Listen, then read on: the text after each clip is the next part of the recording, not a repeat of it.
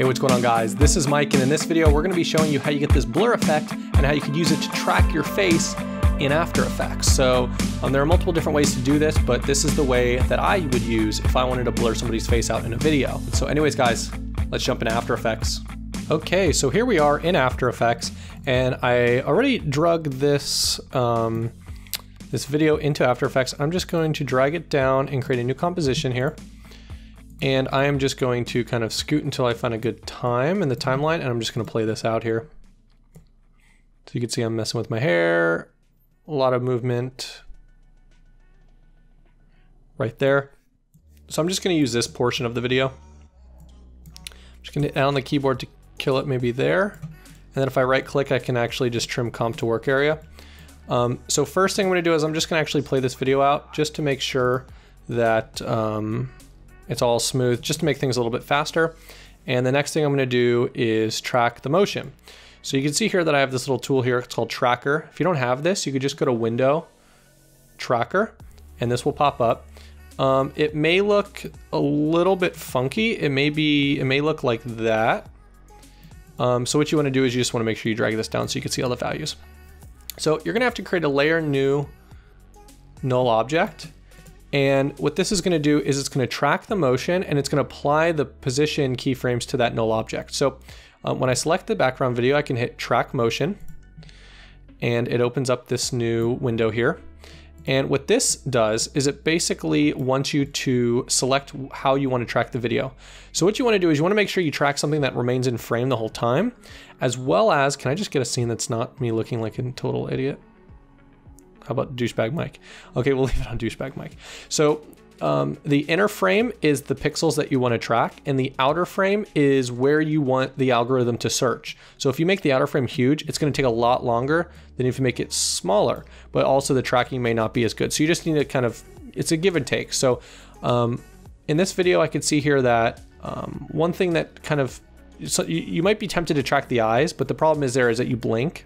So you don't want to track the eyes. Um, the nose might be a little too difficult. So I think I'm gonna try to track maybe my eyebrow, which is probably good. So um, just remember wherever you move the tracking point, if I move to the start, it's not in the right position again. So I like to start from the beginning, you don't have to, but I start from the beginning and you just hit this play button. So this will analyze forward um, and this would analyze backwards. So the motion target is null two. Um, we're just tracking the position. We don't need to do rotation or scale, I don't think. And the target, you could hit edit and that's how you can change it to a different null. Let's say you have multiple nulls.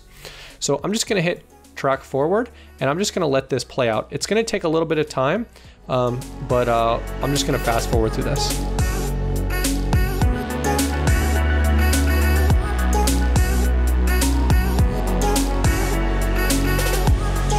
Okay, we are done. And that did actually a really good track. Um, some instances you might get, you know, the track gets lost. Um, you may just need to find a better track or you can manually adjust the keyframes later.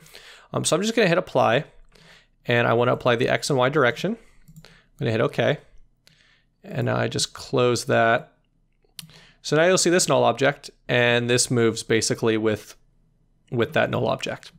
So um, it's point is there, but it doesn't really matter because the point of reference was the eyebrow.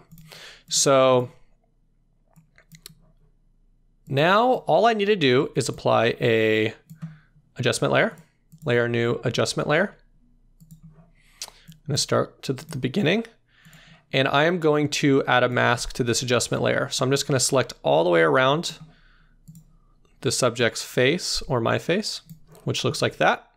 And now you could apply two different effects. The first one is just fast blur. Apply that to the adjustment layer. And I want to parent the adjustment layer to the null object. So basically this adjustment layer will move around with that null. So now when I increase the amount of blur, I'd like to repeat on edges. Um, you'll see why repeat on edges works. Um, sometimes if you if you increase the blur too much, and you don't have it on, you get kind of a translucent effect, which you don't want, obviously. Um, but I just like to blur just enough because it's kind of interesting to see that, like, see what the person kind of looks like, but not enough to actually know. Um, and then if you open up the mask settings, you could actually add some feather to this. So it kind of blurs a little bit. So it's a little bit better. And when I hit play, you'll see what this looks like. So the blur tracks the subject's face. It's actually pretty simple. Um, so let's look at the other effect, which would be, so I'm just gonna delete the effect. It's called Mosaic. And you don't wanna select this animated preset, you wanna select this stylize. And you can just add it.